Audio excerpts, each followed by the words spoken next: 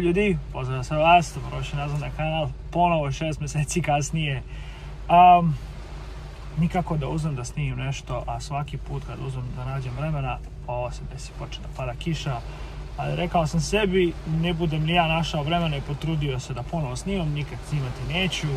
Tako da, danas po kiši pravimo neki klip, trebam par stvari da završim. Skoro sam uzeo auto sa malog servisa, Pred toga sam radio dva velika servisa i eto shvatio sam da nakon 18 mjeseci kako je auto u vlasništvu kod mene, nijednom nismo pričali o tome kako je ovaj, održavati ovaj auto.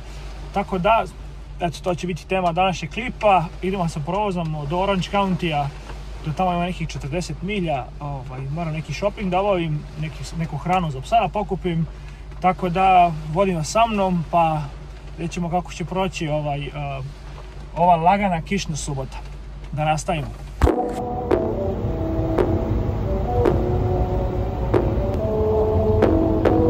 izađem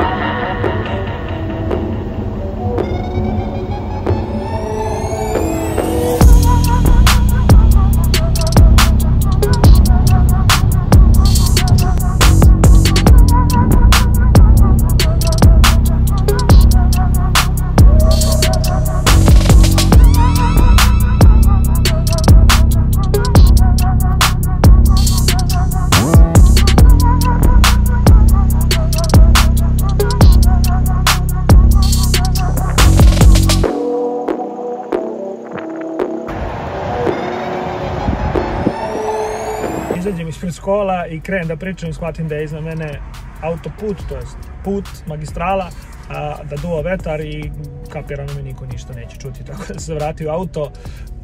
Da vam kažem gdje smo, stigao sam u Orange County, 40 milja južno od Los Angelesa. A, ovaj deo da sam sad parkiran zove se Crystal Cove, to je nacionalni park, nalazi se između Laguna Beacha i Newport Beacha, imaju svoju plažu koja je po meni jedna od najlepših plaža u Južnoj Kaliforniji i imaju svoj prostor za kampovanje i za one njihove velike autobuse da se parkiraju. Tako da ovaj, izdrujem napolje, duva jako mnogo vetar, pokušat ću da dignem dron ako budem mogla, napravim neki snimak, ako ne, napravim par fotki, pa idemo dalje.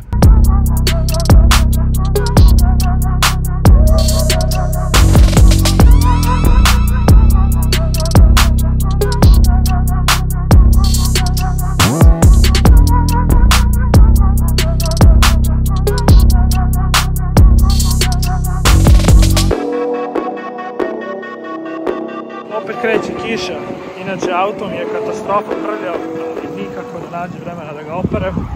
Mada, koliko kiša pada. Koliko kiša pada, nema potrebe. Moram reći da, evo, pre 18 mjeseci sam kupio auto sa 27.000 milja, sad imamo skoro 46, da sam prezadovoljan autom i da je stvarno uživanje voziti ga. Za ovih 18 mjeseci uh, imao sam jedan problem. Kad sam kupio auto, napomenuo sam sam imao garanciju. Imao sam jedan problem sa termostatom. Uh, ugasim auto, on je, ovaj, ventilator i dalje bude upaljen, termostat je bio crkao i nije regulisao lepo temperaturu motora. To je pokrila garancija, moje učešće u garanciji je 100 dolara, tako da su za 100 dolara to zamijenili. Imao sam dva mala servisa, znači ulje i filteri, imao sam jedan veliki servis koji je bilo ulje, filteri, ulje u menjaču, svećice, brdo nekih stvari, je još urađeno, plus zadnje kočice i sada sam ovaj, skoro radio prednje kočnice. I imao sam um, jedan, kako kažemo, veći račun kada mi se izbušila guma na, na, na autoputu, kada se to desilo, osjetio mi se prednji branik, mislim sam o tome pričao u, u jednom klipu. I morao sam da zamenim senzor adaptivne ovaj, cruise kontrola. I onaj kako se zove, okvir što ga, ram što ga nosi.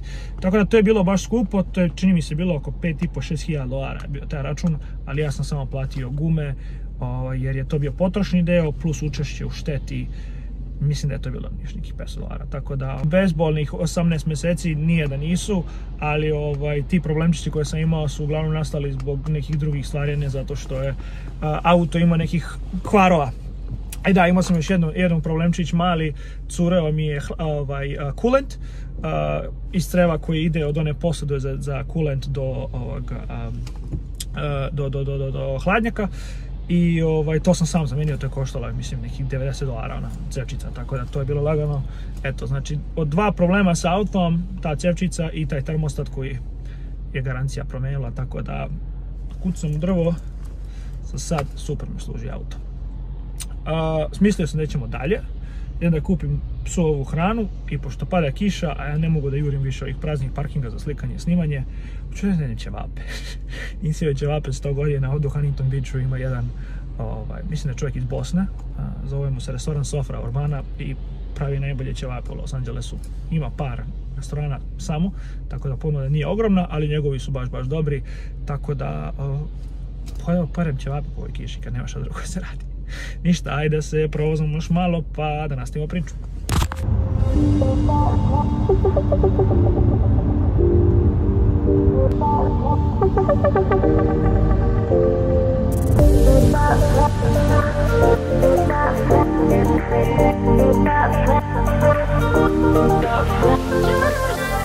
Kada krenete iz Crystal Cova nazad za Los Angeles, kada krenete severno uz plažu, najđete na gradić, to je prvi gradić, pored je Corona del Mar, to je ovdje se sad nalazimo.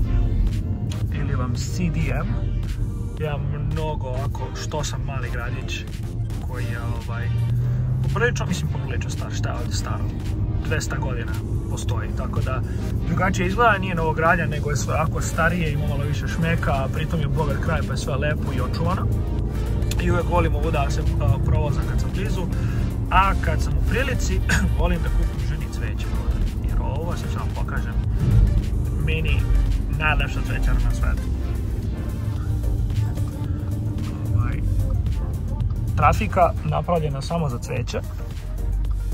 I kad sam u prilici, kad sam blizu, kad mogu da stanem, ovaj, kupim ženi cveće. Ako imate ženu, sestru, devojku, Bogu hvala, majku, tetku, bilo koju ženu u vašem životu da vam je bitna, važna, kupite im cveće. Dva minuta, dva minuta posla ima mnogo znači.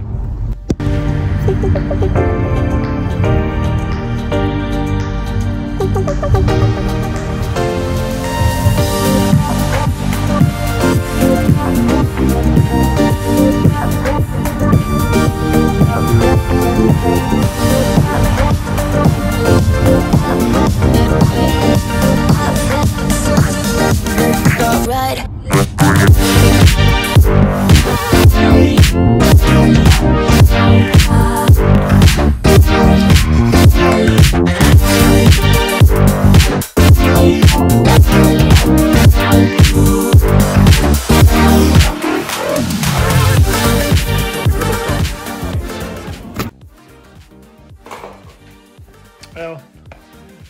ja sam moje ćevape pojeo, on je njegovu klopu dobio, evo završavam još jedan video, ponovo iz garaže.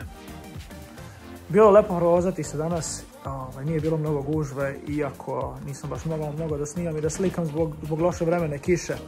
Jednu stvar nisam napomenuo malo pre kada smo pričali o servisima.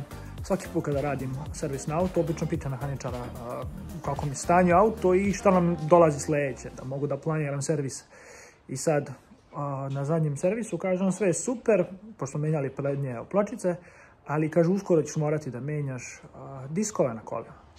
Kako uskoro? Kažem pa, znaš kako, Audi kaže da se na 50% menjaju diskovi, ti si nede na 55, 53, čini mi se tako rekao napredi pozadi. Kao sad smo stavili nove pločice, može to da potraš malo, treba se zameni. Razmišljam u glavi 50%, ko znam ono, jeste auto viših performanse, pa kao treba imamo bolje kočnice, ali opet 50% kočnica da se menjaju ovaj, na 50% ne zvuči baš realno. Ok, ajde bar da ga pitam koliko to košta pre nego što radim ja moj research na internetu. kaže car, pa kaže tvoj auto RS4, RS6 i RS7 ove generacije, kaže deli iste kočnice, to jest, da, iste kočnice sa uh, posljednjom generacijom Galjarda i sa prvom generacijom Huracana. I kaže, tebe diskovi koštaju oko 6200, novi set ovih pločica oko 800, plus ruke, sve to suma sumano skoro 10.000 dolara. Eko, a sad čekaj ću ja još malo to da radim, nema potrebe to za sada se radi. poslije sam uzeo i pogledao na internetu, to jeste prava cena originalnih delova, ali u zadnjih 10 godina, ako ne više, kad ove pločice, to jest ovi diskovi pločice koriste, postoji dosta alternativnih opcija koje su, alternativnih opcija koje su jeftinije i ono, u svakom slučaju tek auto ima 45.000 milja, ako skočica na 50%, ima mi da se vozimo dosta dok dođemo ovaj, do zamene rotora, tako da taj ćemo problem rešiti kad dođemo. Ako vam se svidio video, ostavite like, subscribeujte, u sljedećem klipu počinje projekat Audi RS5 GTS. Ćao!